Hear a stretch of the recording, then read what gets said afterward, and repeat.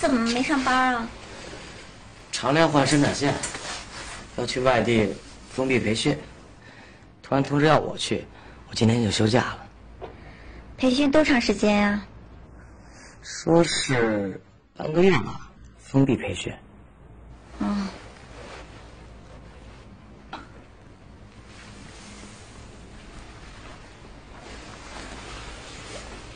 别。别。你别这样，这是宿舍。哎。周明，这宿舍。周明，别进。来来。周明。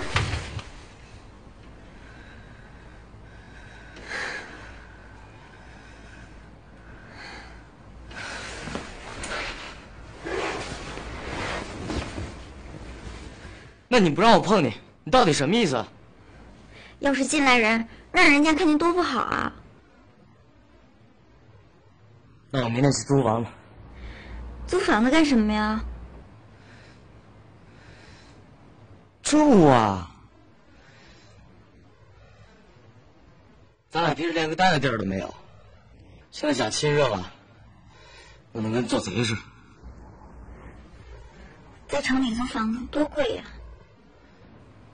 那一分钱都不花，你愿不愿意？就知道你不愿意。我现在不想这样。那你还是不是我女朋友啊？咱们不是还没结婚？那我想怎么样？周明，你别强迫我。没结婚，我就是不想这样。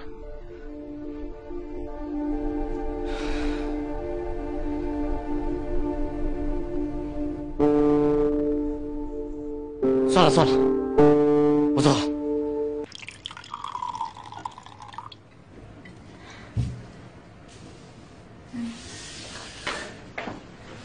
丽颖啊，你多喝一点，这酒很好的，不会醉人的。嗯，林先生，您不是说找我有事商量吗？什么事啊？